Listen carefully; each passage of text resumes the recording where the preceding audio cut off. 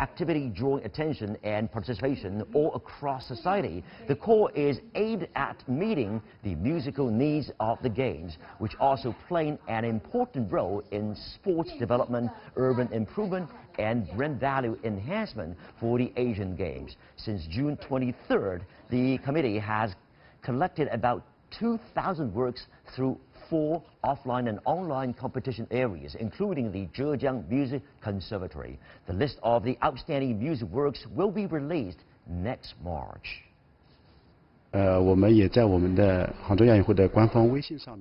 We have promoted the musical works on our official social media account and received a good response from the audience.